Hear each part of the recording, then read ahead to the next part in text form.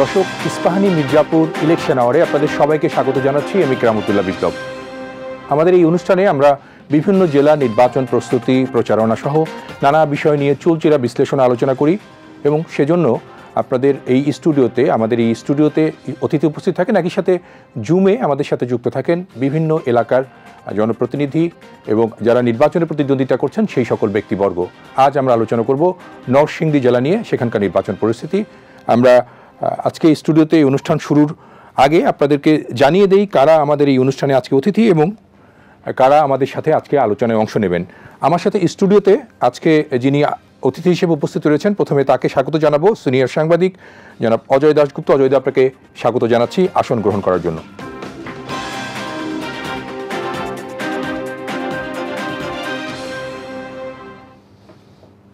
রাত একটু বেশি হয়ে গেছে। আহ, আমরা আলোচনায় সেইটা পুষিয়ে নেব আশা করি আর কি। প্রচারণা শেষে সবাই ঘরে ফিরে এসেছেন। হ্যাঁ, ভালো আছেন আশা করি। ভালো আছি।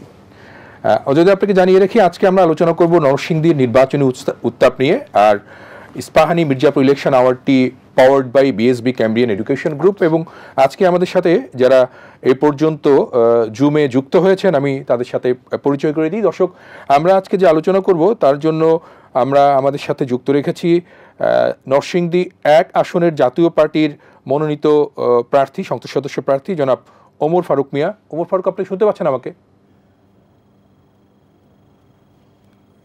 স্বাগত। আর রয়েছেন নরসিংদী চার আসনের সাইফুল ইসলাম খান বীরু। বীরু ভাই আপনাকে স্বাগত আমাদের এই অনুষ্ঠানে। আপনাকেও স্বাগত। ধন্যবাদ। কথা বলবেন আমাদের সাথে রয়েছেন নরসিংদীর ইন্ডিপেন্ডেন্ট কলেজের অধ্যক্ষ জনাব ডক্টর মশিউর রহমান মৃধা। জনাব মৃধা, আপনি কি আছেন? আমাদের সাথে যুক্ত। ওকে, ধন্যবাদ আপনাদেরকে। আমরা আরও এই অনুষ্ঠানে পাবো হয়তোবা। আমাদের এই অনুষ্ঠানে থাকার কথা জানিয়েছেন নরসিংদী চার আসনের আওয়ামী লীগ মনোনীত প্রার্থী এবং শিল্পমন্ত্রী জনাব অ্যাডভোকেট নুরুল মজিদ মাহমুদ হুমায়ুন। অজয়দা, আমরা এই সকল অতিথি সবাইকে হয়তো পাবো, আলোচনাও করব আমরা। শুরুর দিকটাতে আমরা আপনার সাথেই একটু যেতে চাই। সেটি হচ্ছে যে নির্বাচনী উত্তাপ কম হোক, বেশি হোক, সব জায়গায় কম বেশি চলছে এবং বিভিন্ন জায়গা থেকে নানা রকমের ঘটনা প্রবাহের খবরও আমরা পাচ্ছি যারা গণমাধ্যমে কাজ করি। তার মধ্যে আমাদেরকে যেটা চিন্তায় ফেলেছে বা গত কদিন ধরে আমরা একটু টেনশনে পড়ে গেছি যে নির্বাচনী সহিংসতার কিছু দিক কিন্তু নজরে আসছে। বিভিন্ন জায়গায় স্বতন্ত্র প্রার্থীদের উপর হামলা হচ্ছে, নির্বাচনী প্রচারণায় বিধিভঙ্গের অভিযোগ আসছে। আপাত দৃষ্টিতে কি মনে হচ্ছে? কিরক- কীরকম নির্বাচন হচ্ছে এবার? প্রার্থী তো ধরেন গড়ে ছয় সাতজন এরকম, সারা দেশে যদি ধরি, সেটা সংখ্যা হিসাবে ভালো। তো আওয়ামী লীগ, বিএনপি দুই পক্ষ যখন সর্বশ্রেষ্ঠ দু হাজার আট মাঠে ছিল, তখন একরকম আমরা দেখেছি যে আমরা গণমাধ্যমে কাজ করলেও শেখ হাসিনা উত্তরবঙ্গ কিংবা চট্টগ্রাম, সিলেট, নোয়াখালী একসঙ্গে আটটা, দশটা জেলার কর্মসূচি নিয়ে বের হয়ে পড়তেন। মানে ম্যাক্সিমাম সংসদীয় আসনে সভা, সমাবেশ, বড়, ছোট পথসভা।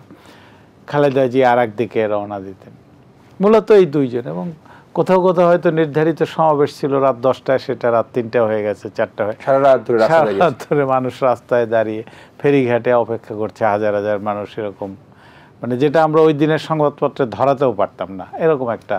আপনি তো গিয়েছেন এর আগে নির্বাচনী সংবাদ কাভারের জন্য। রাত চারটার সময় দেখেছি আমি যে অপেক্ষা করছে মানুষ। হাজার হাজার মানুষ হাজার দাঁড়িয়ে আছে হ্যাঁ। এটা সেই বইপত্রে যেটা পড়ি যে চুয়ান্ন সালের নির্বাচনে শেরে বাংলা এই নদীর পথে চলছেন তো নদীর মধ্যে মানুষ, তার লঞ্চটা একটু ছুঁয়ে দেখবে আর কি।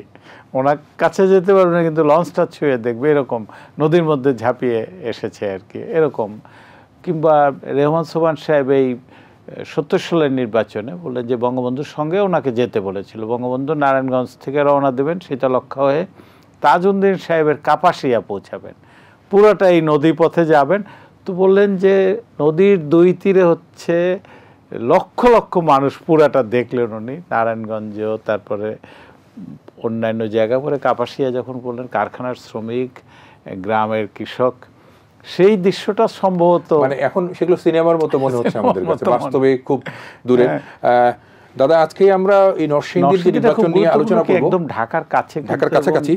আমরা জানি যে নির্বাচন যে এলাকায় হচ্ছে সেই এলাকার মানুষজন হয়তো জানেন যে সেখানে প্রার্থী কারা ভোটার কত। সারা দেশের মানুষকে আমরা যেহেতু অনুষ্ঠানটা দেখাচ্ছি আমরা একটা পরিসংখ্যান দিয়ে আসি। এবং সেই পরিসংখ্যানে আমরা নরসিংদীর যে নির্বাচন আসনগুলো আজকে রয়েছে আমরা সেগুলো নিয়ে আমাদের এখানে ভিডিও ওয়ালে আমরা সেই পরিসংখ্যানটা আজকে দেখাবো। আমরা প্রথমেই চলে যাচ্ছি নরসিংদী এক আসনে। নরসিংদী এক আসনে আমরা দেখতে পাচ্ছি। আসনটি হচ্ছে আমাদিয়া পাঁচদোনা মেহেরপাড়া ইউনিয়ন ব্যতীত ওই নরসিংদী সদর আসন আর কি। এখানে মোট ভোটার সংখ্যা চার লাখ একচল্লিশ হাজার চারশো চল্লিশ জন। এর মধ্যে পুরুষ ভোটার আমরা দেখতে পাচ্ছি। এখানে দুই লাখ ছাব্বিশ হাজার সাতশো বিয়াল্লিশ জন, নারী ভোটার দু লাখ চোদ্দ হাজার ছশো নব্বই জন। এখানে একষট্টি হাজার তিনশো পঁয়তাল্লিশ জন এবার নতুন ভোটার হয়েছে। নরসিংদীর দুই আসনটি যদি আমরা বলি, এখানে আমাদিয়া পাঁচদোনা মেহেরপাড়া ইউনিয়ন রয়েছে। এর মধ্যে মোট ভোটার দু লাখ উনসত্তর হাজার দুশো চুয়ান্ন জন, পুরুষ এক লাখ সাত্রিশ হাজার সাতশো উনআশি এবং নারী ভোটার এক লাখ একত্রিশ হাজার চারশো বাহাত্তর জন। এখানেও নতুন ভোটার এবার হয়েছেন তালিকায় চুয়াত্তর চৌত্রিশ হাজার আটশো একাশি জন। আমরা এবার নরসিংদীর তিন আসনটি যদি দেখে আসি নরসিংদীর তিন আসনে আমরা দেখতে পাচ্ছি মোট ভোটার দু লাখ তেষট্টি হাজার সাতশো সাতাশ জন। এর মধ্যে এক লাখ তেত্রিশ হাজার সাতশো তিপ্পান্ন পুরুষ আর এক লাখ উনত্রিশ হাজার নশো তিয়াত্তর জন নারী। এখানেও উনচল্লিশ হাজার নতুন ভোটার হয়েছে। নরসিংদীর চার, যেটি মনোহরদী ও বেলাবো উপজেলা নিয়ে, সেখানে আমরা দেখতে পাচ্ছি মোট ভোটার চার লাখ দুই হাজার ছশো বারো জন। পুরুষ ভোটার এক লাখ নিরানব্বই হাজার সাতশো একাশি জন, নারী দুই লাখ দুই হাজার আটশো উনত্রিশ জন। এখানেও ষাট হাজার আটশো সত্তর জন নতুন ভোটার আমরা দেখতে পাচ্ছি, যারা এবারের ভোটার তালিকায় অন্তর্ভুক্ত হয়েছেন। নরসিংদী পাঁচ যেটি, সেটি রায়পুরা উপজেলা এবং এখানে ভোটার সংখ্যা চার লাখ পঞ্চান্ন হাজার তিনশো ছজন বিশাল একটি নির্বাচনী আসন এবং এখানে পুরুষ ভোটার দু লাখ চৌত্রিশ হাজার একশো একজন নারী ভোটার দু লাখ একুশ হাজার একশো একানব্বই জন ছুঁই ছুঁই করছে নারী এবং পুরুষ এবং এখানে কিন্তু নতুন ভোটারের সংখ্যা প্রচুর, প্রায় তিরাশি হাজার সাতশো সত্তর জন। এবং নরসিংদীর এই আসনগুলোতে যদি আমরা দেখে আসি, দর্শক আপনারা আমার সাথে নিশ্চয়ই আমাদের স্ক্রিনে দেখছেন যে নরসিংদী এক আসনে আওয়ামী লীগের প্রার্থী মোহাম্মদ নজরুল নজরুল ইসলাম, এখানে জাতীয় পার্টির ওমর ফারুক মিয়া, তৃণমূল বিএনপির জলিল সরকার, বাংলাদেশ সুপ্রিম পার্টির শাহজাহান মিয়া কংগ্রেসের, বাংলাদেশ কংগ্রেসের ইকবাল হোসেন ভূঁইয়া, তরিকত ফেডারেশনের ছবির মিয়া এবং স্বতন্ত্র কামরুজ্জামান ও জাকারিয়া। নরসিংদী দুই আসনে আমরা দেখতে পাচ্ছি, এখানে প্রার্থী মোট এখন চারজন। এখানে আওয়ামী লীগের আনারুল আশরাফ খান, জাতীয় পার্টির A N M Rafiqul Alam Selim, স্বতন্ত্র মাসুম বিল্লাহ এবং আফরোজা সুলতানা। একজন নারী প্রার্থী রয়েছেন এই আসনে। নরসিংদী তিন আসনে আমরা দেখতে পাচ্ছি, আটজন প্রার্থী রয়েছেন এখানে। মোট ফজলে রাব্বি খান, আওয়ামী লীগের জাতীয় পার্টির A S M Jahangir Pathan, Trinamool Trinamool বিএনপির সুশান্ত চন্দ্র বর্মন, ন্যাশনাল পিপলস পার্টির ডাক্তার মোহাম্মদ আলতাফ হোসেন, গণফোরামের মোহাম্মদ মাহফুজুর রহমান, ইসলামী ঐক্যজোটের মোহাম্মদ নুরুজ্জামান, স্বতন্ত্র প্রার্থী সিরাজুল ইসলাম মোল্লা এবং বাংলাদেশ সুপ্রিম পার্টির মিরানা জাফরিন চৌধুরী। এখানেও একজন নারী প্রার্থী রয়েছে আসার খবর এটি। আমরা নরসিংদীর চার আসনের যদি প্রার্থীদের তালিকা বলি, চারজন দেখতে পাচ্ছি এখানে। নুরুল মজিদ হুমায়ুন যিনি শিল্পমন্ত্রী রয়েছেন, আওয়ামী লীগের প্রার্থী। জাতীয় পার্টির মোহাম্মদ কামাল উদ্দিন, বাংলাদেশ সাংস্কৃতিক জোটের মুক্তি যেটি সাংস্কৃতিক মুক্তি বাংলাদেশ সাংস্কৃতিক মুক্তি জোট, এটি এমদাদুল হক ভুলন, এই দলটি নতুন মনে হচ্ছে বা প্রার্থীও নতুন মনে হচ্ছে, স্বতন্ত্র সাইফুল ইসলাম খান। নরসিংদী পাঁচ, মোট প্রার্থী নয়জন নরসিংদীর অন্য আসনগুলোর চেয়ে এখানে প্রার্থী একটু বেশি দেখা যাচ্ছে। এখানে আমরা প্রার্থী দেখছি যাদের, তারা হলেন আওয়ামী লীগের রাজিউদ্দিন আহমেদ, জাতীয় পার্টির শহীদুল শহীদুল ইসলাম, বাংলাদেশ ন্যাশনালিস্ট ফ্রন্টের বিটু মিয়া সমাজতান্ত্রিক দল জাতীয় সমাজতান্ত্রিক দলের মাহফুজুর রহমান, বাংলাদেশ কংগ্রেসের মমতাজ মহল, ইসলামী ঐক্যজোটের মুফতি আব্দুল কাদের মোল্লা গণফ্রন্টের নিজা নাজমুল হক শিকদার, স্বতন্ত্র রয়েছেন মিজানুর রহমান ও সুলাইমান খন্দকার। এই হচ্ছে নরসিংদীর আসনগুলোতে প্রার্থীদের নাম, বৃত্তান্ত এবং সংখ্যা। আমরা নরসিংদীর নির্বাচন নিয়ে আলোচনা করতে গেলে সবার আগে যে বিষয়টি আমাদের সামনে দাদা আনা উচিত সেটি হচ্ছে যে ঢাকার কাছাকাছি এবং নরসিংদী কিন্তু নির্বাচনে একটু ঝুঁকিপূর্ণ এলাকা হিসেবে নির্বাচন কমিশনে চিহ্নিত করেছে। কারণ এর আগে নরসিংদীর বিভিন্ন নির্বাচনে রাজনৈতিক এবং নির্বাচনী সহিংসতা হয়েছে।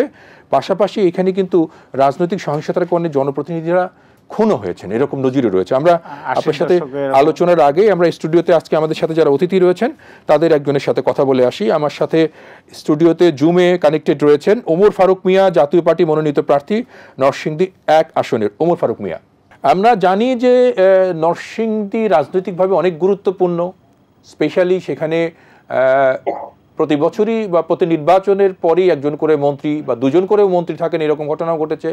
তো এবারে আপনাদের ওখানে নির্বাচন কেমন হচ্ছে? নির্বাচন আপনারা পরিস্থিতি কেমন দেখছেন? উৎসবমুখর আছে কিনা? সার্বিক পরিস্থিতি নিয়ে যদি একটু বর্ণনা করেন।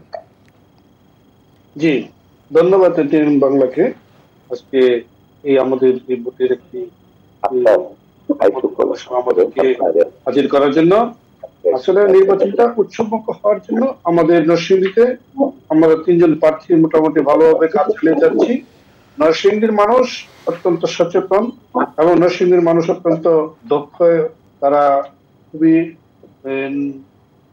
বিচক্ষণ লোক, নরসিংদীর মানুষ। তারা অবশ্যই তারা হিসাব নিকাশ করে ইনশাল্লাহ ভোট প্রদান করবেন এবং আমরা যারা প্রার্থী আছি, বিশেষ করে আমি শান্তিপ্রিয় মানুষ, আমি চাই সকলের সাথে একটি সুসম্পর্ক রেখে জনগণকে আমি আমার রাজনৈতিক আমরা রাজনৈতিক ভাবে সকলকে একটি অংশগ্রহণ করার মধ্য দিয়ে একটি আমরা জাতীয় পার্টি বিজয় হতে পারে। ধন্যবাদ ধন্যবাদ আপনাকে। আমি আমি যেটা জিজ্ঞেস করছি আপনাকে ফারুক মিয়া সেটি হচ্ছে যে নির্বাচনে পরিবেশ কি মানে পরিস্থিতি কি নরম না গরম? আপনার কাছে কি মনে হচ্ছে? নির্বাচন পরিস্থিতি আমি এখনও পর্যন্ত তেমন একটি খুব ইয়া পাচ্ছি না। তবে তাদের আওয়ামী লীগের যারা আছে তাদের মধ্যে হয়তো কিছু থাকতে পারে। আমি ইনশাল্লাহ সুন্দর সুষ্ঠুভাবে নির্বাচন পরিচালনা করে যাচ্ছি। ধন্যবাদ। ধন্যবাদ আপনাকে। দর্শক আমাদের সাথে স্টুডিওতে যুক্ত হয়েছেন আওয়ামী লীগ মনোনীত নরসিংদী চার আসনের প্রার্থী শিল্পমন্ত্রী অ্যাডভোকেট নুরুল মজিদ মাহমুদ হুমায়ুন। হুমায়ুন ভাই শুনতে পাচ্ছেন? জি আসসালামু আলাইকুম। আপনার কেমন আছেন? শুনতে পাচ্ছেন আমাকে? হ্যাঁ পরিষ্কার শুনতে পাচ্ছি এবং শীতের মধ্যেও আপনার গলা যে পরিষ্কার আছে এটা বোঝা যাচ্ছে আর কি। পরিষ্কার আছে। থ্যাংক ইউ চা খাচ্ছি। থ্যাংক ইউ চা খেয়ে যান আর আমাদের সাথে থাকবেন এই অনুষ্ঠানটি। এটি আপনাদের আমি একটা। হ্যাঁ, আপনাদের- বৈঠকে আছি। হ্যাঁ উঠান বৈঠকের লোকজনও নিশ্চয়ই শুনছে আপনার কথা। আমরা যেটা জানতে চাই you. আপনি তো নরসিংদীর আহ, আওয়ামী লীগ নেতা এলাকার মানুষের কাছে অনেক পরিচিত প্রসিদ্ধ নেতা এবং সরকারের একটি গুরুত্বপূর্ণ মন্ত্রণালয়ের মন্ত্রী একাধারে এবার আওয়ামী লীগের মনোনীত প্রার্থী নৌকা মার্কা নিয়ে লড়ছেন নরসিংদী চার আসনে।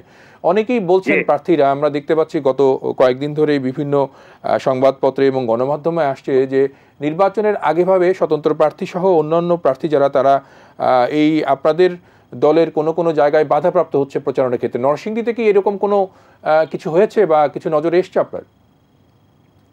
সার্বিক নরসিংদী জেলায়? জি। হ্যাঁ নরসিংদী জেলায় স্বাভাবিকভাবেই এটি অত্যন্ত শক্তিশালী একটি দুর্গ আওয়ামী লীগের আপনারা জানেন। এবং এটা বাণিজ্যিক ভাবেও অত্যন্ত ইম্পর্টেন্ট এখানে দুইটা অঞ্চল আমার অ্যাগ্রোবেলড একটা কৃষি অঞ্চল আর একটা শিল্প অঞ্চল। তো শিল্প অঞ্চলে টাকা পয়সা বেশি সমৃদ্ধ এবং ঢাকার আমরা একেবারে পাশে এখন ঢাকার পাশে বলব না ঢাকার সাথে সংযুক্ত। We are very much attached with headquarter কাজে আমাদের এখানকার সবকিছুই জীবনযাত্রা বদলে গেছে। বিশেষ করে মাননীয় প্রধানমন্ত্রী শেখ হাসিনার এই পনেরো বছর আমাদের যে এই টেনিউর সরকার আমরা পরিচালনা করেছি, এতে we have become part of Dhaka এবং এখানকার উন্নয়ন সব জায়গায় হয়েছে, প্রতি ক্ষেত্রেই উন্নয়ন হয়েছে এবং দলেরও অত্যন্ত শক্তিশালী। এখন শক্তিশালী হওয়ার পরে একটা প্রবলেম হয়েছে যে আজকে বিএনপির জন্য আমরা প্রস্তুতি নিয়েছিলাম মিটিং করা ইয়ে করার জন্য। তাদেরকে আমরা মোকাবেলা করব। তারা তো ভয়ে আগেই পালিয়ে গেল তারা তাদের নির্বাচনে সেই সাহস নাই বলে তারা চলে গেছে। এবং তাদের কোনো নেতৃত্ব নাই। এই জন্য প্রবলেম হয়ে গেছে আমার আমাদের। মানে খেলে মজা পাচ্ছেন না বলছেন আপনি। মাঠে খেলে মজা পাচ্ছেন না। খেলে কোনো মজাই পাচ্ছি না। এখন জার্সি ছাড়া টিমের সাথে খেলা হচ্ছে। কে যে লাইন্সম্যান আর কে যে প্লেয়ার এটা বলা যাচ্ছে না। আচ্ছা। তো সেক্ষেত্রে তো আপনার জন্য সুযোগও অবারিত হয়েছে মানে ফাঁকা মাঠে আপনি দ্রুত গোল দিয়ে দিতে পারবেন এরকম সুযোগও তৈরি হয়েছে। এটার জন্য সেটা তো আছে ইনশাল্লাহ করব কিন্তু এটা মারাত্মকভাবে আমার দলকে বিভিন্নভাবে ক্ষতিগ্রস্ত করছে। কারণ এখানে বিরোধী যারা নির্বাচনে যায় নাই তারা কিন্তু তাদের উপর ভর করে তাদের যে পরিকল্পনা, আমাদের ইলেকশনকে নস্বাত করে দেওয়া এবং ভবিষ্যৎ পরিকল্পনা, এতে আমাদেরকে, আমরা এখন আমাদের প্রস্তুতি রাখতে হচ্ছে দুটা, নির্বাচন এবং নির্বাচন পরবর্তী আন্দোলন। তবে আমি খুব ভাগ্যবান যে আমার মনোহরদীপ কালাবো দীর্ঘদিনের প্রশিক্ষণ প্রাপ্ত সব যারা আছে, তারাই আমার সাথে আছে, তারা স্থানীয় রাজনীতি নির্ধারণ করে, তারা সবাই চেয়ারম্যান বা মেম্বার সবকিছু। কিন্তু এখানে একটা সমস্যা আছে আমার। ও আর একটা জিনিস হুমায়ুন ভাই সেটা হচ্ছে যে আপনি একটি মন্ত্রণালয়ের দায়িত্বপ্রাপ্ত মন্ত্রী স্টিল মানে এখনও আপনি রয়েছেন আমার একটা সমস্যা আছে এটা অনেকে হয়তো এই সমস্যা শুনতে পাচ্ছেন? পরিষ্কার শুনতে পাচ্ছি বলুন। হ্যাঁ এখানে সমস্যা হলো যে এত সফল মন্ত্রী এত কিছু হওয়ার পরও যেহেতু আমি দীর্ঘদিন সরাসরি কেন আমি তৃণমূলের নেতা আমি রাজনীতি করেছি আমি যুবলীগের চেয়ারম্যান ছিলাম ছাত্রলীগের নেতা ছিলাম ঢাকা শহরে সবকিছুই ছিলাম। বিশাল, একেবারে সারা বাংলাদেশ ঘুরে বেরিয়েছি কিন্তু আজকে এই মন্ত্রণালয় চালাতে গেলে এটাকে সফল করার আমার কিছুটা তৃণমূলের কর্মীদের সাথে আমার যে দলের যারা নেতৃত্ব, যারা দায়িত্বপ্রাপ্ত ছিল, তারা এখানে কম্পিটিশন হয়ে গেছে। যে চাওয়া না পাওয়ার হিসাব, কে পেলাম, কি খেলাম, কি পেলাম মন্ত্রী লোক বলল, না, পুরোটাই আমাদের লোক সেখানে। এই যে আজকে এটাকে একটা পর্যায়ে আমি নিয়ে এসেছি। আশা করি আপনারা যেটা বলছেন যে এখান থেকে যে বিএনপি যত ষড়যন্ত্রই করুক অন্যদের কাঁধে ভর করে জামাত তারপরে অন্য যারা আছে এখানে সমস্যা হচ্ছে যে আমার যে উপজেলা চেয়ারম্যান এখানে যারা আছে সে হলো তার সে জাতীয় পার্টি করেছে বিএনপি করেছে তারপরে আমার আওয়ামী লীগে এসেছে। আমি তাকে দুইবার বানাইছি। এখন সে পাঁচ পাঁচ বারের একটা উপজেলা চেয়ারম্যান বলে। এটা বলে না যে কোন কোন দল করে আসছে।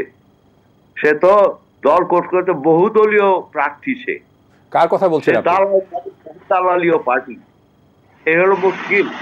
আপনি কি আপনি কি সাইফুল সাইফুল ইসলাম নিয়ে আজকে আমাকে ডিস্টার্ব করছে যেটা থাকবে না সাত আট দিন থাকবে তারপরে সে হয়তো ছেড়েই চলে যাবে। আপনি কি আপনি কি সাইফুল ইসলাম খানের কথা বলছেন?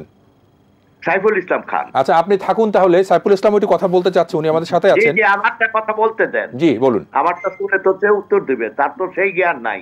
সে তো এত রাজনৈতিক বিত না সে চাকরি করে সে কি আমাকে লোকাল পলিটিক্স করবে এই কথা বলবে সে কথা খেয়ে ফেলেছি ভালো মানুষ তাদের বদনাম।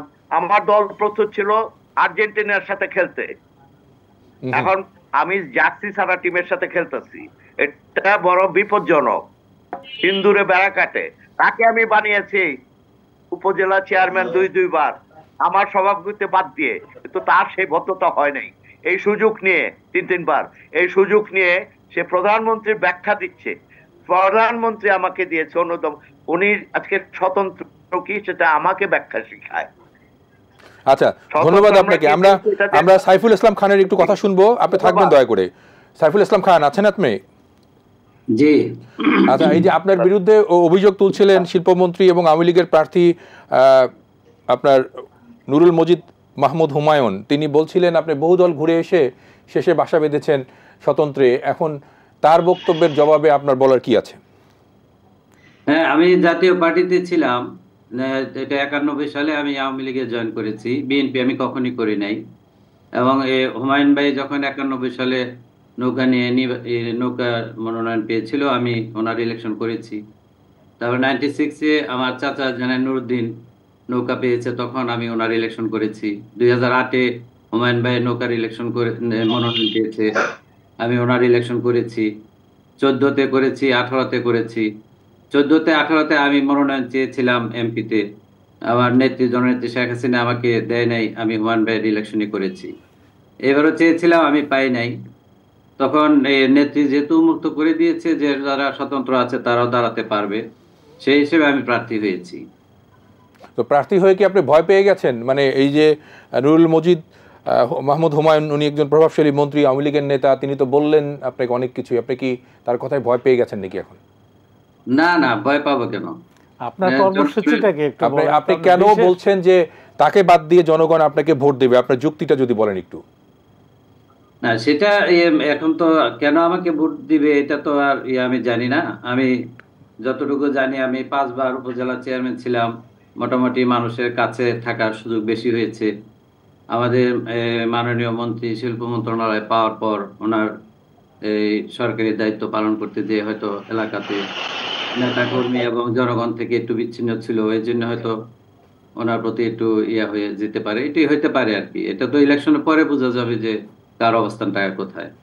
না আপনি আশাবাদী কিনা মানে আপনাকে আপনি যে নির্বাচনে নেমেছেন একদিকে হচ্ছে উনি মন্ত্রী তারপরে ক্ষমতাসীন দলের প্রার্থী আহ, এই সব মিলিয়ে আপনার কি আশা আছে যে ওনাকে হারিয়ে আপনি বিজয়ী আসতে পারবেন এরকম কোনো আশা আছে কিনা হ্যাঁ সুষ্ঠু ভোট হলে আমি আশাবাদী যে আমি ইনশাল্লাহ পাশ করব। ধন্যবাদ আপনাকে। অজয় দা আপনাকে ফিরি সেটা হচ্ছে যে এই যে নির্বাচনের উত্তাপ কিন্তু আমরা বুঝতে পারলাম যে যিনি শিষ্য তিনি এবার তার সমকক্ষ হওয়ার জন্য প্রতিযোগিতায় নেমেছেন নির্বাচনে। যে আমাদের সাইফুল ইসলাম খান, বীরু এবং আমরা দেখছি নুরুল মজিদ মাহমুদ হুমায়ুন এবং তারা উস্তাদ শিষ্যর মতো কিন্তু এখন ভোটের মাঠে সমান হয়ে গেছে। এইরকম নির্বাচন আপনি কীভাবে দেখছেন আর কি? হ্যাঁ চট্টগ্রামে আমাদের যে মহিউদ্দিন সাহেব এবং মঞ্জুর সাহেবের মধ্যে একবার মেয়র পদে এবং মঞ্জুর সাহেব একেবারেই মানে অভাবিতভাবে জয়ী হয়ে গিয়েছে। হ্যাঁ এবং সেটা ওইভাবে কিন্তু ফোকাস ছিলেন না উনি। হ্যাঁ। সবাই জানতো নির্বাচনের পরে না জানলো যে তিনি এইভাবে আসছেন হ্যাঁ। তা আমরা এটাকেও ওইরকম না এটা ফেলে দেওয়ার কিছু নাই। পাঁচবার উপজেলার চেয়ারম্যান হয়েছে নিশ্চয়ই।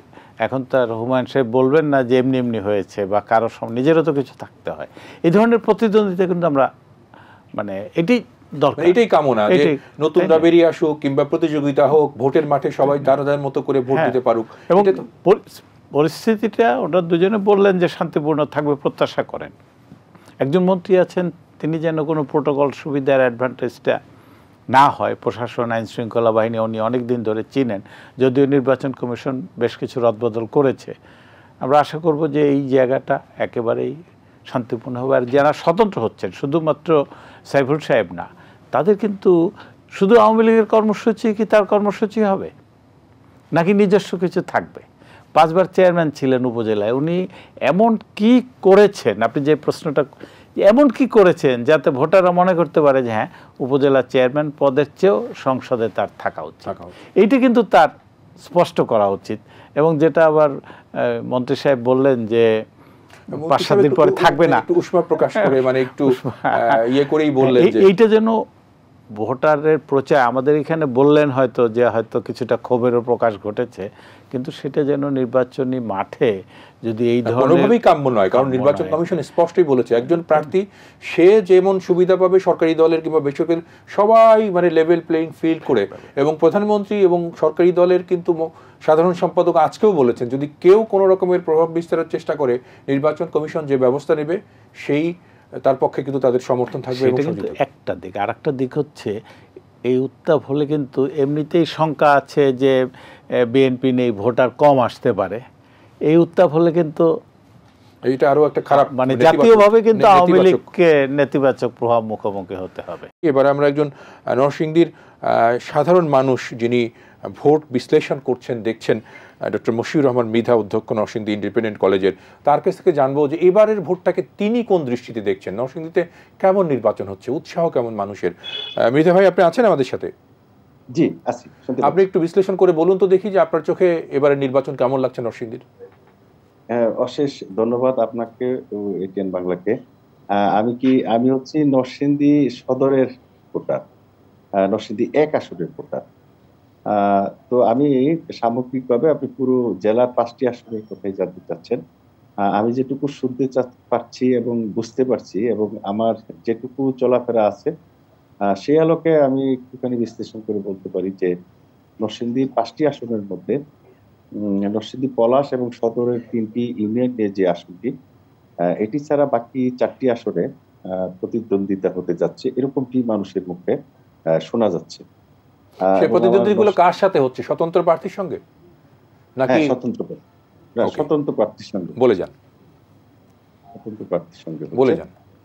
এবং স্বতন্ত্র প্রার্থী বলতে তারাও আবার আওয়ামী লীগেরই প্রার্থী। মানে তারা দলীয় মনোনয়ন পাননি কিন্তু স্বতন্ত্র প্রার্থী হয়েছেন। হ্যাঁ, দলীয় পরিচয়ের দিক থেকে তারা আওয়ামী লীগেরই বলা চলে। এটা তো এই ক্ষেত্রে যিনি নৌকা পেয়েছেন তারা সবাই তো যথেষ্ট বর্ষিয়ান নেতা নরসিংদীর এবং নরসিংদীর অতীতে বিভিন্ন বড় দায়িত্ব পালন করেছেন এবং একজন তো বর্তমানে কথা বলেছেন, মাননীয় শিল্পমন্ত্রী কিছুক্ষণ কথা বলেছেন। ওনাদেরও অনেক অবদান নরসিংদীর প্রেক্ষাপটে রয়েছে। কিন্তু বর্তমান নির্বাচনটি আমার কাছে মূলত যারা স্বতন্ত্র প্রার্থী রয়েছে তাদের সঙ্গে প্রতিদ্বন্দ্বিতা হতে যাচ্ছে। কিন্তু নরসিংদীর যে পলাশ আসনটি নরসিংদী সদরের তিনটি ইউনিয়ন সহ, সেই আসনটির তেমন প্রতিদ্বন্দ্বিতার কথা শোনা যাচ্ছে না। সেখানে স্বতন্ত্র এমন কোনো শক্তিশালী প্রার্থী নেই বলে আমরা শুনতে পাচ্ছি।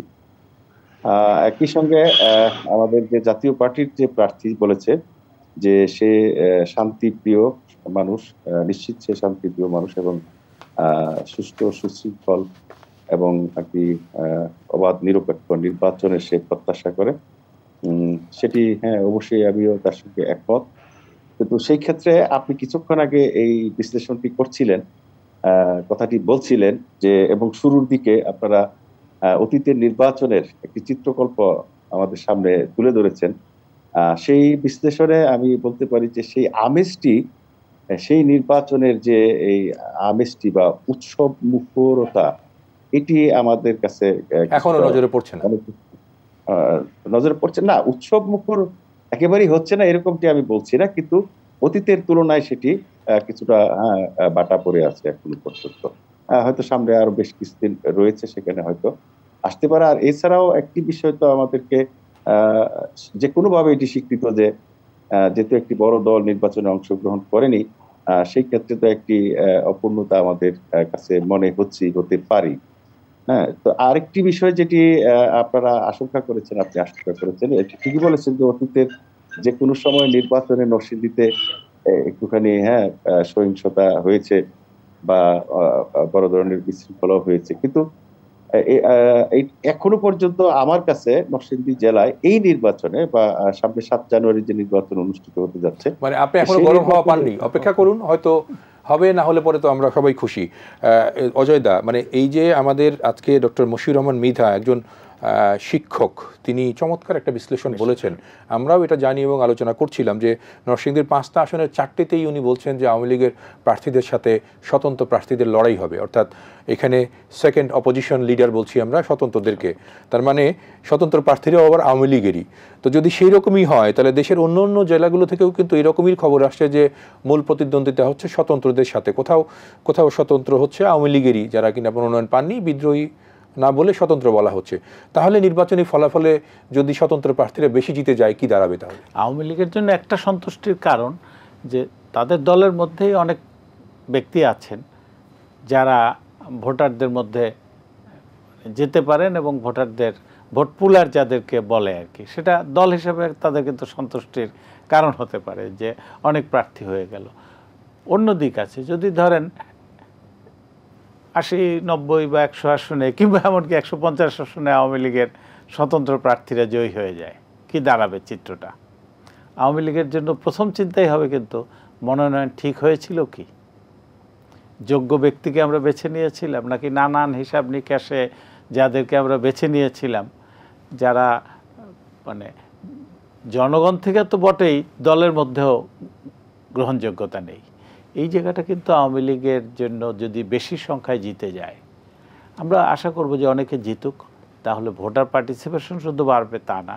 সংসদে এখন যদি আওয়ামী লীগ আবার জয়ী হয়ে, ধরেন পঞ্চাশ জন জয়ী হলো, জয়ী হয়ে পরের দিন বলল যে আমরা আওয়ামী লীগেই আছি, তাহলে কিন্তু পার্লামেন্টে একদলীয় হয়ে যাবে।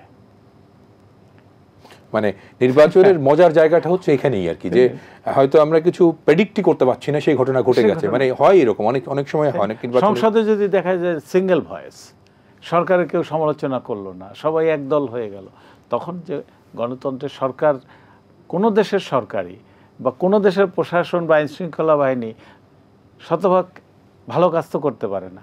অথবা এমনকি ভালো কাজ করলেও তার কিছু দুর্বল জায়গা থাকে যেগুলো সমালোচনা করে তুলে ধরা যায়। সেই তুলে ধরা লোকগুলো যদি পার্লামেন্টে না থাকে কিংবা পার্লামেন্টের বাইরে গণমাধ্যমে কিংবা পেশাজীবীদের মধ্যে সুশীল সমাজে নাগরিক সমাজে না থাকে তাহলে কিন্তু সেটা মানে মত প্রকাশের এই যে শত মানে সহস্র গণতান্ত্রিক রাষ্ট্র ব্যবস্থা শাসন ব্যবস্থা একটা বিশাল ঝুঁকি। আমরা পারফেকশনও দরকার। সরকার যে ঠিকভাবে কাজ করবে সে যদি মনে করে কেউ আমার বিরোধিতা করার নেই, তখন কিন্তু অনেক ভুল করে ফেলতে পারে। মানে আর একটা জিনিস দেখেন আপনি, যে জাতীয় পার্টিকে সবাই মনে করেছিল এবার যেহেতু বিএনপি থাকছে না, জাতীয় পার্টি নির্বাচনে এসছে অনেক নাটকীয়তার পর এবং জাতীয় পার্টির চেয়ারম্যান অলমোস্ট দুই সপ্তাহ আড়ালে ছিলেন আর কি। তিনি কোনো রকমের বিবৃতি দেন নেই কথা বলেননি, অর্থাৎ মনোনয়ন চূড়ান্ত হওয়ার আগে। তারপরে তিনি আবার এসছেন নির্বাচনী প্রচারণায় নেমেছেন নিজের সংসদীয় যে আসনে নির্বাচন করছেন, সেখানে গেছেন। জাতীয় পার্টিকে নিয়ে যতটা আওয়াজ হওয়ার কথা ছিল সেটা কিন্তু নির্বাচনে অতটা হচ্ছে না। মানে এই জায়গায় আপনার কি মনে হয়? শুধু জাতীয় পার্টি না, কিন্তু আরও বেশ কিছু দল কিন্তু মনে হয় যে ওভার দি ইয়ার্স দুর্বল হয়েছে। জনসমর্থনের দিক থেকে শুধু না, মানুষের মধ্যে একটা দল ছোটও হতে পারে কিন্তু। একসময় ধরেন কিছু লেফট দুই তিনটা পার্টি ছিল, তারা হয়তো অত ভোট পেত না নির্বাচনে, কিন্তু সবসময় একটা ভয়েস ছিল, তাদের একটা কণ্ঠ ছিল বিভিন্ন সমস্যা জনজীবনের, বিশেষ করে শ্রমজীবী মানুষের বা দেশের কোনো সংকট হলে সেগুলো তুলে ধরতো এবং গণমাধ্যম খুব গুরুত্ব দিয়ে প্রকাশ করতো। মৌলানা ভাসানী সাহেব এক সময়, তার দল কিন্তু ছোট হয়ে গেছিল, তার চারপাশে যারা বহু বছর ছিলেন, তারা ছিলেন না। কিন্তু ওনার কণ্ঠটা ছিল, মানুষ মনে করতো যে একটা ন্যায্য কথা ভরসার জায়গার কথা ভরসার জায়গা ছিল। এই জায়গাটা কিন্তু দেখেন আর একটা যে নির্বাচনের আগে এই ইসলামী শাসনতন্ত্র আন্দোলন হাত পাখা নিয়ে কত অনেক কথা বলেছে এবং গরম গরম কথা গরম। এখন কি কোনো ই পাচ্ছেন এবং গরম থেকে নির্বাচনের হাওয়া আসতেই কেন জানি নরম হয়ে গেছে। কিংবা বিএনপি ধরেন এই যে অসহযোগের মধ্যে কোনো আমরা কি ওই অর্থে কোনো টের পাচ্ছি? একটা অসহযোগ ছাপায়া তারা ই কর্মসূচি দিয়ে দিলেন। এবং আজকে দিনের ভাগে দেখলাম রিপোর্ট আমরা যে ঢাকায় অনেকেই মনেই করছে না যে কবে কোন কর্মসূচি আছে। জিজ্ঞেস করলে আজকে? কই জানি না তো ভাই আজকে কি আছে কিছু? মানে তারা পাল্টা প্রশ্ন করছে। অসহযোগ আন্দোলনের উপরে তো আর কিছু থাকতে পারে না। মানে বঙ্গবন্ধুর কথা অসহযোগ করেছে মানুষ কি পুলিশ ওনার কথা শুনে গোয়েন্দারা ওনার কথা শুনে আর্মির ক্যান্টনমেন্টের ভেতরে কিছু লোক শুধু ওনার বাইরে। তার বিএনপির কথা কে শুনছে? এখন তো মনে হচ্ছে যে বিএনপির যে নেতৃত্ব অসহযোগ ঘোষণা করেছে কর্মীরাই তাদের সঙ্গে অসহযোগিতা করছে। হয়তো বা আমরা দাদা আবার একটু চলে যাই নরসিংদীতে। আমাদের সাথে অনলাইনে যুক্ত রয়েছে নরসিংদীর জাতীয় পার্টির নরসিংদী সদর আসনের জাতীয় পার্টির প্রার্থী ওমর ফারুক মিয়া। ওমর ফারুক শুনতে পাচ্ছেন? আছেন তো? আমি শুনতে পাচ্ছি আচ্ছা ফারুক ভাই এই যে আমরা কথা বলছিলাম যে অনেকেই মনে করেছিল যে এবারে নির্বাচনে জাতীয় পার্টি হচ্ছে সেকেন্ড পাওয়ার অর্থাৎ আওয়ামী লীগের পরেই। যেহেতু বড় রাজনৈতিক দল একটি বিএনপি মাঠে নেই তারা নির্বাচনে আসে নাই। তো জাতীয় পার্টির অবস্থান ভালো হবে, জাতীয় পার্টিকে ছাব্বিশটি আসন আওয়ামী লীগ সমর্থনও দিয়েছে, ছেড়েও দিয়েছে বলা চলে। সেখানে জাতীয় পার্টির প্রার্থীরা আপনারা আপনাদের পোস্টারে লিখছেন, জাতীয় পার্টি আওয়ামী লীগ মনোনীত। তো এই ব্যবস্থার মধ্যে আপনি কি আশা করেন যে সবগুলো আসনে আপনাদের প্রার্থীরা বেরিয়ে আসতে পারবে? আপনাদের সেই সাফল্যের জায়গাটা নিশ্চিত হয়েছে? সবগুলি আসন কিন্তু আওয়ামী লীগও বেরিয়ে আসতে পারবে না। আমি যেটা মনে করি যে ছাব্বিশটি আসন যে যেটা দিয়েছে এটা কিন্তু পাশাপাশি আবার তারা স্বতন্ত্র প্রার্থীকে দাঁড় করে দিয়েছে। সেই জায়গাটি বলছি। সেই সেই জায়গা থেকে কিন্তু আমরা নির্বাচনটাকে নির্বাচনী মনে করছি। আমরা মনে করি যে আওয়ামী লীগ আমাদের সাথে একটি ফাঁদ পেতেছে। আমাদের এই সেই ফাঁদের ভিতর থেকেই আমাদেরকে বেরিয়ে আসতে হবে এখন। এই মুহূর্তে নির্বাচনে আমি যা যেটা মনে করি নির্বাচনটা একটি সুষ্ঠু অবাধ ও নিরপেক্ষ নির্বাচন যদি হয় তাহলে আপনারা মনে করতেছেন যে আমার বিশ্লেষকটা আমাদের ডক্টর মিশন রহমান মিদা সাহেব বলেছেন যে উনি সুন্দর চমৎকারভাবে বিশ্লেষণ করেছেন। কিন্তু আমি মনে করি একটা শ্রেণি ভোট কিন্তু খুব চুপসে আছে। তারা কিন্তু এখনও পর্যন্ত ভোটে অংশগ্রহণ করবে কি করবে না বা না করার জন্য বিভিন্ন চিন্তা ভাবনা করতেছে। এরকমও তো হতে পারে যে তারা হয়তো এই বিবেক করতেছে যে আওয়ামী লীগ সরকার গঠন করে বেশি টিকতে পারবে না। কিন্তু তারা যদি বেশি দিন টিকতে পারবে না মনে করে যদি আজকে অসহযোগিতা করে তারা যদি আবার কোনো কারণে আবার নির্বাচনে, যেহেতু এখন অনেক সময় বাকি আছে, যে না, নির্বাচন যেহেতু কোনো কারণে যদি আমরা টিকাতে নাও পারি, জাতীয় পার্টির কাজে যদি ভর করে আমরা তাদেরকে যে আওয়ামী লীগ সরকার কারটাকে একটু সিট কম দিয়ে জাতীয় পার্টির আসনটিকে একটু বাড়িয়ে দিতে পারি তাহলে আওয়ামী লীগটা একটু দুর্বল হতে পারে। সেই কারণে চিন্তা করে কখন আবার নীরব ভোটের একটা বিপ্লব যদি হয় যদি এরকম আশ্বাস পায় যে একটা সুস্থ অবাধ নিরপেক্ষ নির্বাচন মাঠে চলছে বা এটা আমরা উনত্রিশ তারিখের পর থেকে সেনাবাহিনী মাঠে নামার পর আমার মনে হয় দেশের চিত্র আরেকটা ভিন্ন হতে পারে। আচ্ছা আপনি একটু বলেন তো ওমর ফারুক ভাই সেটা হচ্ছে যে আপনার আসন হচ্ছে নরসিংদী এক আমি বোধহয় দুই বলেছিলাম। নরসিংদী একে আপনারা প্রার্থী আছেন মোট আটজন। হ্যাঁ এখানে আওয়ামী লীগের নজরুল ইসলাম মিয়া আর আপনারা বাকি সাতজন আছেন। এখানে যদি আমি বলি আপনার প্রধান প্রতিদ্বন্দ্বী আপনি কি আওয়ামী লীগকেই মনে করছেন না স্বতন্ত্র কাউকে মনে করছেন? জি না আমরা আমি কিন্তু নির্বাচনটা তিনজন আমরা খুব সমানে সমানভাবে এগিয়ে যাচ্ছি। কে কে? তার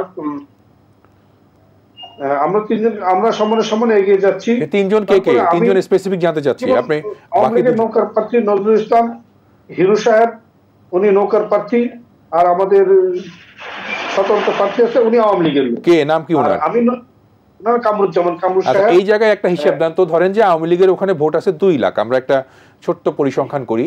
দুই লাখের মধ্যে আওয়ামী লীগের যেহেতু দুই নেতা এই দুই নেতাই তো তাহলে ভোট ভাগাভাগি করবে।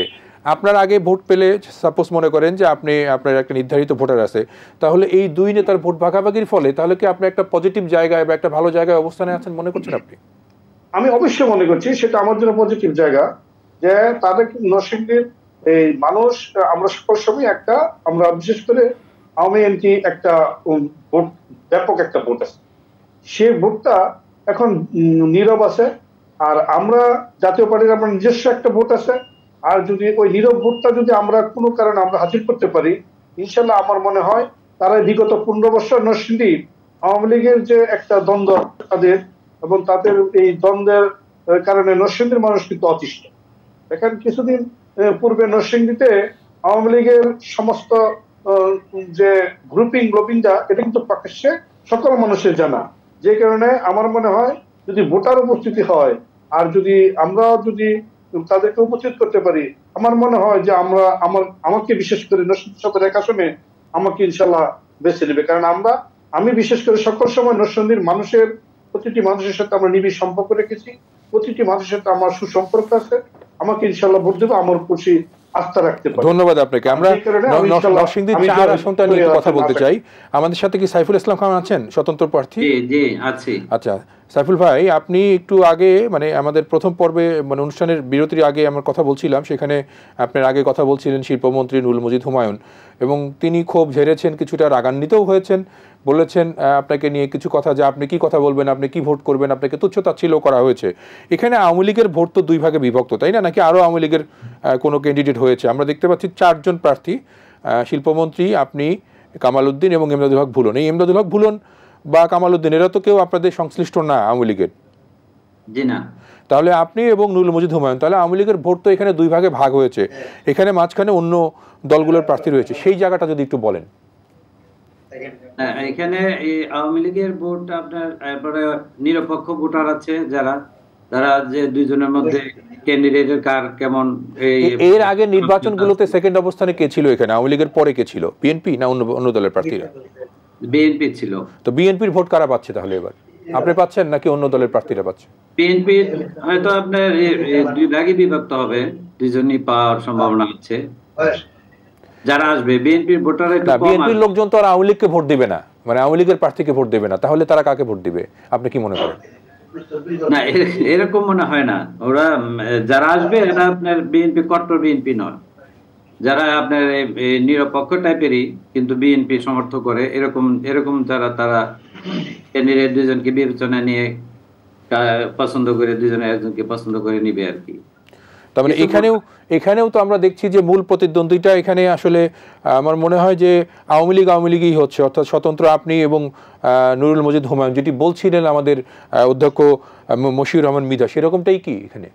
হ্যাঁ এরকমই। ধন্যবাদ আপনাকে। অচেদা আমরা যে বিষয়টা হিসেব নিকেশটা করছিলাম যে আমরা দেখলাম একটা জিনিস যে আওয়ামী লীগের ভোট ভাগাভাগি হয়ে গেছে স্বতন্ত্র বা বিদ্রোহী প্রার্থী হওয়ার কারণে। যদিও নির্বাচনের এই উত্তাপের মধ্যে এসে আওয়ামী লীগের প্রার্থীরা বলছেন যে প্রধানমন্ত্রী তাদেরকে ইঙ্গিত দিয়ে দিয়েছেন সবাইকেই। বলেছেন যে বিদ্রোহী প্রার্থী হলে পরে নিজেরা জিতে আসো, আমার কোনো কিছু করে কারও বারণ নাই, মানা নাই, নিষেধ নাই। এই সুযোগটা তারা নিয়েছেন। এতে কুট আমরা যদি ভোটের হিসেবটা ধরি, দুই ধরনের ভোট রয়েছে, একটা আওয়ামী লীগের ভোট, একটা এন্ট্রি আওয়ামী লীগের ভোট, অর্থাৎ বিএনপি বা অন্য দলগুলোর মধ্যে। এর মধ্যে কিন্তু যে দলটি নির্বাচনে যায়নি, তারও কিন্তু একটা বিশাল ভোটের অঙ্ক রয়েছে। তাহলে কি বিএনপির সব ভোটাররাই এবার নিশ্চুপ ভোট না দিয়ে বসে থাকবে? সেরকম তো হয় না বাংলাদেশের। কারণ গ্রামে সব লোকজনই হয়তো মতাদর্শের খাতিরে আপনার হয়তো বিএনপিকে ভোট দেয় কিন্তু ভোটের মাঠে তাদের নিজেদের পরিচিত কাছের লোক বাড়ির লোক পাড়ার লোক ইউনিয়নের লোক এরকম একটা হিসেব আছে। সেই ভোটগুলো কি হবে? কি মনে হয় চোদ্দ বা আঠারোতে কিন্তু সেই ভোটটা আসেনি ভোট কেন্দ্রে। এবং সেটার কারণে কিন্তু আওয়ামী লীগের যারা তারাও অনেকে আসেনি। যে কারণে ভোটার উপস্থিতি নিয়ে নানান রকমের প্রশ্ন প্রশ্ন থাকে আর কি। আওয়ামী লীগও জানে যে আঠারোতে যারা যেসব কেন্দ্রে বা আসনে দেখেছে যে আশি নব্বই বা একশো ভাগ পর্যন্ত ভোট পড়েছে বাস্তবতা ভিন্ন ছিল। এখন এই অংশ যদি বিএনপি বা তার মিত্ররা বাইরে রাখতে পারে আওয়ামী লীগের জন্য সেটা একটা দুশ্চিন্তার কারণ হবে। কারণ শুধু এরাই বাইরে থাকবে না এরা বাইরে থাকায় আওয়ামী লীগের লোকেরা আমার মনে করবে যে ভোট দিয়ে কি হবে? আওয়ামী লীগে তো জিতবে। নির্বাচনী আইনে সাতজন ভোট কেন্দ্রে গেল একজনে চারজন পেল সেই তো জিতে গেল। এটা আওয়ামী লীগের জন্য কিন্তু গভীর উৎকণ্ঠার বিষয় হবে আর কি যে ভোটারদের টেনে আনতে হ্যাঁ মানে এত বড় একটা রাজনৈতিক দল হ্যাঁ। এত ঐতিহ্য এত প্রচার প্রচারণা। আর আপনি গত আট দশ বছরে তো এমপি উপজেলা চেয়ারম্যান ইউনিয়ন পরিষদ চেয়ারম্যান পৌরসভা যেখানে আছে পৌরসভা চেয়ারম্যান সিটি কর্পোরেশন প্রায় সবই তো আওয়ামী লীগের। তাইলে ভোটার টানতে পারবে না কেন? এই জায়গাটা তো তাকে গভীরভাবে বিশ্লেষণ করতে হবে আর কি। এটা হলো একটা দিক। আওয়ামী লীগের ভোট যদি খুব কম আসে একটা দুইটা হলো যে জাতীয় পার্টি যেমন বললেন যে আওয়ামী লীগ দুই ভাগ হলে আমার জন্য ভালো সুবিধা। সেই মানে নির্বাচনী মাঠে সেরকম জমজমাট করে তো জাতীয় পার্টিও আছে কি না সেটা তো উনি বা আমি বললে হবে না ভোটারদের বা জনগণকে বলতে হবে যে আর কি। এই জায়গাটা খুব ই- হবে কিন্তু যদি এই দুই ভাগ হয়ে যায় তৃতীয় পক্ষ বের হয়ে আসে সেটা খারাপ না নির্বাচনী ময়দানে। কিন্তু আমি মনে করি যে স্বতন্ত্র যারা আছেন তারা যদি আওয়ামী লীগ আওয়ামী লীগ নিজে তাহলে স্বতন্ত্র দাঁড়ালেন কেন তিনি? তাহলে তো তার দলের পক্ষেই থাকা উচিত ছিল। আওয়ামী লীগের যারা স্বতন্ত্র হয়েছেন তারা নিজে যে দলের চিন্তাধারার সঙ্গে তো তিনি এক ধরনের দ্বিমত করেছেন। দ্বিমত করেছেন। কিংবা বলা যায় বিদ্রোহ নিজে হয়তো মনে করেছেন যে তার এই জায়গায় যোগ্যতা ছিল কিন্তু তিনি বঞ্চিত বঞ্চিত। বঞ্চিত হয়েছেন। বঞ্চনার জায়গাটা তিনি তিনি সেই কথাগুলো জোরের সঙ্গে বলবেন? নাকি শুধুমাত্র আমার প্রভাবিত ভোটার সেটা দিয়ে জিতলাম আমার মত মত আদর্শ চিন্তা ভাবনা গুরুত্বপূর্ণ না? আমি মনে করি যে স্বতন্ত্র যারা দাঁড়িয়েছেন তারা এখন তো অনেকটা মুক্ত। দলের যে কর্মসূচি সেইটাই হুবহু বলতে হবে এর বাইরে কিছু বলা যাবে না। সেই বন্ধন তো তার নাই। সেই আটোসাটো একটা গণ্ডির মধ্যে তো তিনি আর নাই। তিনি অনেক দশটা, বিশটা, স্বতন্ত্র যদি ভালো কিছু কর্মসূচি উপস্থাপন করতে পারে ধরেন নরসিংদীতে হচ্ছে নদীপ্রবণ শিল্প এলাকা, কৃষি এলাকা, আবার নদীপ্রবণ এটার মধ্যে মেঘনা আছে, ব্রহ্মপুত্র আছে, তাই না? ছোট নদী আছে। এই নদী ব্যবস্থাপনা কি হবে? কিংবা এই যে কৃষিতে গ্রোথ মানে একটা চমক একটা ম্যাজিক যদি। তিনি তৈরি করতেন। কৃষি এই যে ঢাকার সরবরাহ কিন্তু নরসিংদী থেকে এখন হাব হয়ে গেছে। হাব হয়ে গেছে। এখন তিনি ওখানের জন্য যে আমি কৃষিভিত্তিক কিছু একটা নতুন করব এলাকায় কিংবা বহুদিন ধরে নরসিংদী হচ্ছে কাপড়ের জন্য বস্ত্র শিল্প তাই না? এই বস্ত্রশিল্পের উন্নয়নে ধরেন টা- আ- আমরা একজন স্বতন্ত্র প্রার্থী যেহেতু আছে আমাদের সাথে সাইফুল ইসলাম খান বীরু নর স্বতন্ত্র প্রার্থী নরসিংদী চার। উনি যদিও আওয়ামী লীগ নেতা এবং পাঁচবারের উপজেলা চেয়ারম্যান উপজেলা চেয়ারম্যানের পদ আহ, জলাঞ্জলি দিয়ে তিনি চলে এসেছেন সংসদ নির্বাচনে। সাইফুল ইসলাম খান আপনি আছেন তো না? হ্যাঁ জি আছি। আচ্ছা আপনি তো পাঁচবার উপজেলা চেয়ারম্যান ছিলেন নরসিংদীর ওই উপজেলা এটা আপনার উপজেলাটার নাম কি যেন? মনোহরদি আচ্ছা মনোহরদি তো আপনার এই বাবুরহাট কাপড়ের জন্য বিখ্যাত তাই না? না না মনোহরদিতে না। ও আচ্ছা এটা মাধবদি আচ্ছা আমি একটু জানতে চাই যে আপনি যেহেতু এবারে নির্বাচন করেছেন এর আগেও চেষ্টা করেছেন প্রার্থী হননি বোধ হয় না না এই প্রার্থী স্বতন্ত্র থেকে হয় নাই। নমিনেশন চেয়েছিলাম আওয়ামী লীগ আচ্ছা। থেকে পাই নাই। আচ্ছা তো আপনি যেহেতু পাঁচবার নির্বাচনে জিতেছেন উপজেলা চেয়ারম্যান হয়েছেন নরসিংদীতে এই সংসদীয় নির্বাচনে গত দুইটা টার্মে কি রকম ভোটারের উপস্থিতি ছিল? মানে কত পার্সেন্ট ভোট পড়েছে? দুইটা তো দুই সালে যেটা হয়েছে তখন প্রায় eighty eighty five percent vote cast হয়েছে। আপনার উপজেলা নির্বাচনের সময় কত আর চোদ্দ সালে চোদ্দ সালে যেটা হয়েছে সেটা আনকন্টেস্টে হুমায়ুন ভাই হয়েছে হুমায়ুন সাহেব। মানে আপনার আপনার কি উপজেলা নির্বাচনের সময় কত পার্সেন্ট ভোট পড়েছিল? ফিফটি ওয়ান পার্সেন্ট হয়েছিল। কত ভোট পেয়েছিলেন মোট আপনি? আমি ফর্টি টু মানে ফর্টি টু থাউজেন্ড জি। না না থাউজেন্ড ভোটের পরিমাণ টোটাল ভোটের পরিমাণ ফর্টি টু থাউজেন্ড ভোটের পরিমাণ তো আপনার তখন ছিল একটু কম এরপরে ভোট আরও বেড়েছে তখন ছিল এক লাখ আশির মতো। মানে এক লাখ আশি হাজার ভোট কি আপনি পেয়েছিলেন? না এক লাখ আশি আমি একা পাবো কেন? আচ্ছা। আমার সাথে আরও দুজন প্রার্থী ছিল। আচ্ছা আচ্ছা আপনি ফর্টি টু থাউজেন্ড ভোট পেয়েছিলেন। জি জি। ধন্যবাদ। আমরা আপনার কাছ থেকে আরেকটু জানতে চাইব যে আমরা এই যে স্টুডিওতে আলোচনা করছিলাম যে স্বতন্ত্র প্রার্থী যারা আপনারা আছেন তাদের নিজস্ব কিছু আইডিওলজি আছে নিজস্ব কিছু ম্যানিফেস্টো আছে যেহেতু দলীয় কোনো আপনার কাছে ইশতেহার নেই। তাহলে নরসিংদীর যে আসনে আপনি এমপি নির্বাচিত আহ, মানে নির্বাচন করছেন যদি নির্বাচিত হন আপনার ম্যানিফেস্টোটা কি? আপনার আকর্ষণটা কি? চমকটা কি? একটা দুটো বলেন তো আমাদেরকে। আমাদের মনোহরদ্বীপ এলাকা দুইটি উপজেলা নিয়ে আমার এমপি কনস্টিটিউয়েন্সি এখানে আমাদের এই উপজেলাটাও কিন্তু দুই ভাগে বিভক্ত। একটা হলো শিল্পে উন্নত আর আমার মনোহরদ্বীপ এলাকা রায়পুরা, এই তিনটি উপজেলা হলো কৃষি দিকে উন্নত। কৃষিতে সেখানে খুব ভালো অবস্থা। আমরা উপজেলা পরিষদের চেয়ারম্যান থাকা অবস্থায় আপনার যে সরকারের যে কৃষির যে একটা বিপ্লব ঘটিয়েছে, বিভিন্ন উন্নত বীজ, উন্নত ইয়ে ইয়ের মাধ্যমে যে অধিক ফসল ফলানো এটা, এটার এটার খুব সফলতা পেয়েছে আমার এলাকায়। তো এই জন্য আপনার আমাদের এখানে ধান, কলা, তারপরে সবজি, এই সমস্ত জিনিস এই দুই, তিন উপজেলার মধ্যে বেশি ফলন হয়। আমার চিন্তা ছিল যদি আমি আমাকে জনগণ ভোট দিয়ে আমার সংসদে পাঠায়। উপজেলা পরিষদের চেয়ারম্যান হিসেবে আমার ততটা সুযোগ ছিল না। বারবার মানুষ আমাকে অনেক প্রত্যাশা নিয়ে ভোট দিয়ে থাকে। কিন্তু তাদের প্রত্যাশা পূরণ করার মতো সুযোগ উপজেলা লেভেলে নেই। যার জন্য উপজেলা থাকাকালীনই আমার দুই উপজেলায় একটা পরিচিতি ছিল যে চাচা দুই ছিয়ানব্বই এবং দুই সালে এমপি নির্বাচন করেছেন। উনি কিন্তু প্রথম দিনই অ্যাক্সিডেন্ট করে সিঙ্গাপুরে অবস্থান করেছেন। ওনার প্রতিনিধি হিসেবে আমি দুইটি নির্বাচন এমপিতে ওনারটা আমি করেছি। এবং তখন অত্যন্ত সুনামের সহিত উনি দায়িত্ব পালন করেছেন এবং ওনার প্রতিনিধি হিসেবে আমার একটা সুনাম ছিল দুই উপজেলায়।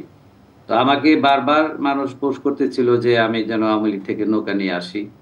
দুই, তিনবার চেষ্টা করেও নৌকা পাই পাই না পাওয়ার ফলে এবার নেত্রী উন্মুক্ত করে দিয়েছে যে তোমরা দাঁড়াতে পারো। সেই হিসেবে আমি দাঁড়িয়ে জনগণের ব্যাপক সমর্থন এখনও আছে ইনশাল্লাহ। আপনারা তো মিডিয়ার লোকজন, নিশ্চয়ই আপনাদের নলেজে আছে আমার অবস্থান সেখানে কোথায়। আমার যে প্রতিদ্বন্দ্বী প্রতিদ্বন্দ্বী ওনার তো অ্যাটিচিউড দেখেছেন আপনারা। তো এই ধরনের অ্যাটিচিউড থাকার জন্য আমার মনে হয় ওনার জনপ্রিয়তা অনেকটা নষ্ট হয়ে গিয়েছে। ধন্যবাদ আপনাকে। আমরা বীর ভাই আপনাকে ধন্যবাদ জানাই এবং আপনার জন্য শুভকামনা রইল। আমরা আরেকজন প্রার্থীর কথা একটু শুনতে চাই ওমর ফারুক মিয়া। আমরা একদম শেষ পর্যায়ে চলে এসেছি অনুষ্ঠানের আপনার যদি বলার থাকে আপনাদের ভোটারদের উদ্দেশ্যে কিংবা নির্বাচন পরিস্থিতি একেবারে টাইট করে বলবেন। হ্যাঁ আমি নরসিংদীর সদর এক আসন থেকে দীর্ঘদিন মাটির মানুষের জন্য কাজ করে যাচ্ছি এবং জাতীয় পার্টি আমি সেই শিশুকাল থেকে ছাত্র রাজনীতির মধ্যে দিয়েই আজকে আমার রাজনৈতিক জীবন এই পর্যায়ে এসেছে। আমি নরসিংদীর সকল ভোটারদেরকে, বিশেষ করে সকল ভোটারদেরকে আমি মনে কর আহ্বান করতে চাই, আপনারা এই নির্বাচনটা একটা অর্থবহ নির্বাচন হবে। আপনারা যদি উপস্থিত হন এবং ওই নির্বাচনে যদি আপনারা আওয়ামী লীগের বিরুদ্ধে একটা ভোট দেন প্রতিবাদের বাসা হবে। সেই হিসাব করে হলো যেন সবাই এসে আমাকে ভোট দেয় এবং নরসিংদীর সকল মানুষের জন্য আমিও সেবা করতে পারি। সকল মানুষের সাথে পাশে থেকে যেন আমি ধন্যবাদ আপনাকে। ধন্যবাদ ওমর ফারুক মিয়া শুভকামনা রইল আপনার জন্য। দাদা একটা জিনিস খেয়াল করেছেন যে আহ, এখানে জাতীয় পার্টির প্রার্থী যিনি কথা বলছিলেন এই জাতীয় পার্টি যদিও সরকারি দল অর্থাৎ আওয়ামী লীগ সমর্থিত নির্বাচিত নির্বাচনে আসা দল তারাও কিন্তু ক্ষুব্ধ এই আওয়ামী লীগের প্রতি এবং তিনি বলছেন যদি আমাকে ভোট দেয় তার মানে আওয়ামী লীগের ভোট দিতে পারে। আমাকে ভোট দিতে পারে তা আওয়ামী লীগের প্রতি প্রতিবাদ জানানো হলো। এটাকে কিভা- কীভাবে বিশ্লেষণ হ্যাঁ, করবেন? তো আওয়ামী লীগের জন্য মানে আরেকটা একটা বলি নির্বাচন কমিশনের ধরেন কোন কোন উপজেলায় দেখলাম চার লাখ ষাট হাজার ভোটার। আমাদের নির্বাচনে প্রচারের জন্য সময় পাচ্ছে কিন্তু মানে একুশ দিন না কিন্তু আরও শেষ আরও কম। আর একটা হচ্ছে যে আপনি বড় পোস্টার লাগাতে পারবেন না আপনি অনেক মাইক দিতে পারবেন না বড় সমাবেশ করতে পারবেন না অনেক বিধিনিষেধ আছে কিন্তু।